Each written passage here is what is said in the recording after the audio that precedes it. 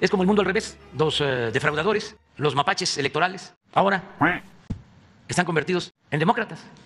Lo cierto es que ellos dominan el INE y el tribunal para información o para refrescar la memoria. Los del Consejo del INE, los del Consejo del Tribunal, los nombran los partidos, los eligen en el Congreso. Entonces, siempre han tenido ellos el control del INE, el Tribunal. Y no es cierto que por el Tribunal y por el INE haya democracia en México.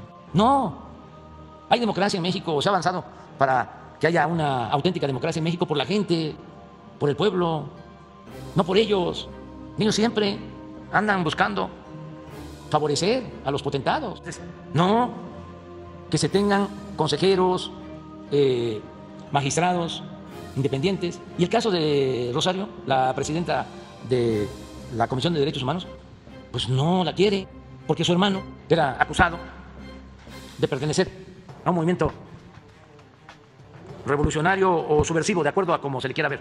Entonces, toda la derecha en contra.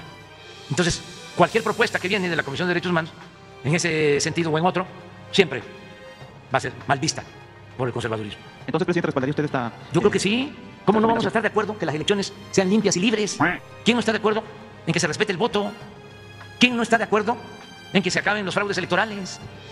¿Quién no está de acuerdo en que no se gaste tanto en la organización de las elecciones? ¿Quién no está de acuerdo en que solo haya un organismo electoral para que se organicen las elecciones en todo el país y que no haya 32 organismos electorales?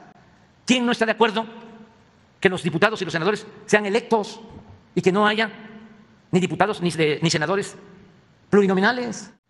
¿Quién no va a estar de acuerdo en que se vuelva una realidad el ideal de Madero, de sufragio efectivo, voto efectivo, democracia efectiva? ¿Quiénes no están de acuerdo?